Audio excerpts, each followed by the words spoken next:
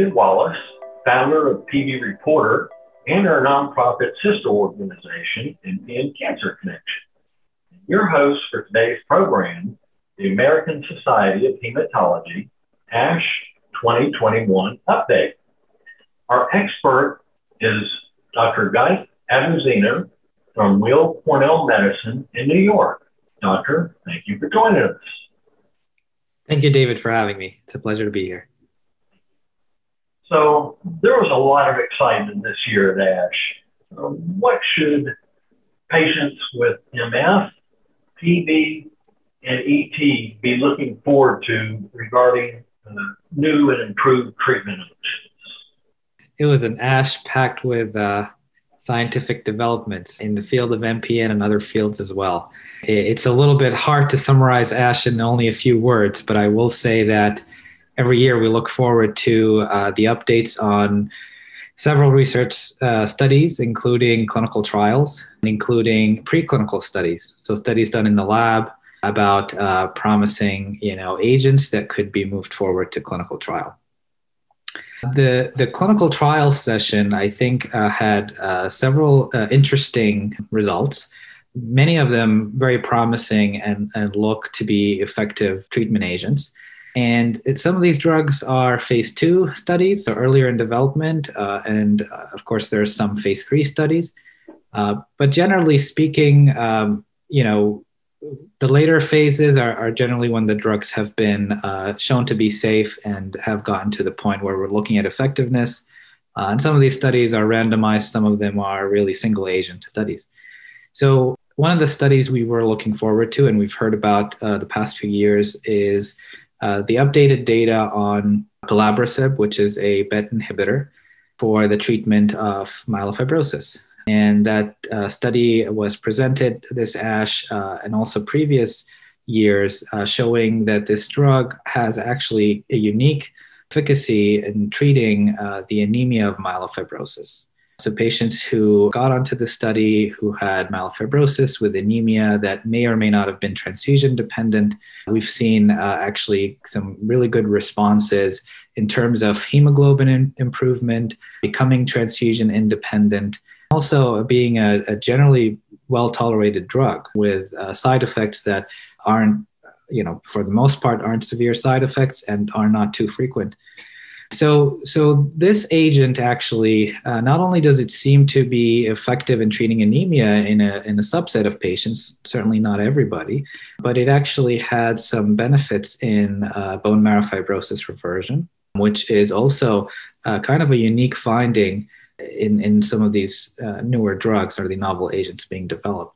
So, the ability for a drug to reverse fibrosis is actually a promising finding because, in, in the scientific community, we associate that with uh, disease modifying activity or the potential for a drug to really uh, reverse the ongoing process of disease progression and prevent it from happening.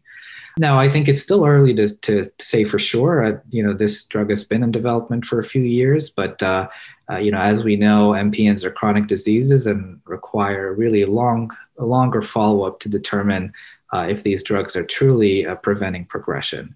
But this this agent is now in phase three of development, and we're looking forward to hearing more about uh, what the phase three data is is looking like or what it's showing. And it's actually being uh, expanded to the treatment of ET patients. So the study is also uh, open for the treatment of ET.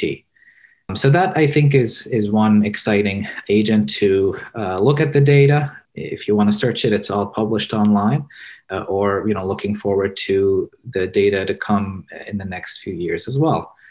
Another study or s- studies that came out um, that were also very promising. The results of the the study rusfertide, the drug rusfertide, uh, which is a hepcidin mimetic uh, for treating polycythemia vera. And this drug actually has a unique mechanism of action. It sort of uh, works on regulating iron metabolism and sort of, uh, in layman's terms, really shutting off the axis of iron into the red blood cells to try to slow down the red blood cell production.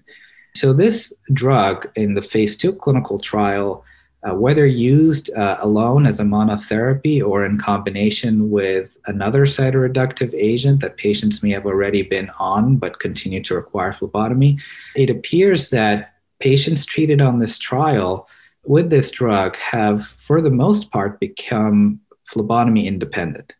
So, the vast majority of patients who required at least three phlebotomies within six months from starting this study have no longer required phlebotomies, and there may have been a few who needed one or two phlebotomies here and there, but overall, very, very exciting to hear.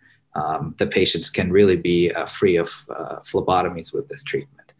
So I think that would be uh, second on the list, and, and certainly there are a few other studies that are, you know, unique agents with different mechanisms of actions targeting different pathways. Some of the pathways that have been particularly interesting to look into and target are you know one the tgf beta pathway. Tgf beta or tumor growth factor beta is a sort of a cytokine uh, signaling pathway that uh, really you know is overactive in mpns particularly myelofibrosis so drugs that have worked on trying to target that axis uh, have shown various sort of um, efficacy results um, uh, in treating not only MPNs but other myeloid neoplasms. You know, for instance, there is a drug approved for MDS known as luspatercept, which uh, targets that axis too and has shown uh, to be very effective in treating anemia of myelodysplastic syndrome. That's also being investigated in MPNs, and there are other agents who that are similar to targeting these pathways. So, one of those studies actually was a single center study by the MD Anderson, where they used a drug called sotatercept to uh, target that axis and found that indeed there was a benefit in terms of treating anemia. So, as you can tell, you know, there's sort of a variety of agents and different pathways targeting different mechanisms and, and the different subtypes of MPNs. Generally, myelofibrosis is where the majority of clinical trials are run. Uh, and sometimes these active agents, when they do have good activity in myelofibrosis, they're uh, used in ET or sometimes PV. Uh, PV does have a, a potentially uh, sort of a unique pathophysiology that we don't see with the others, including you know, things like iron metabolism. Uh, and so that drug is really only active in PV as far as we know, rusfertide. So yeah, I mean, I think that kind of summarized the clinical trials. Uh, you know, there are certainly many others out there that uh, are worth you know reviewing and looking at. There are some that were presented as an oral presentation, and others uh, as posters. But uh, definitely, it was a, a very exciting ASH and a lot of advancements in the field. Okay, excellent. So I'm seeing artificial intelligence or AI play really kind of an expanding role in MPN research from clinical trial matching to bone marrow histopathology. That's a mouthful. So, first of all, tell us what is histopathology and how might AI be used to gain a deeper understanding of MPNs and the various gene mutations?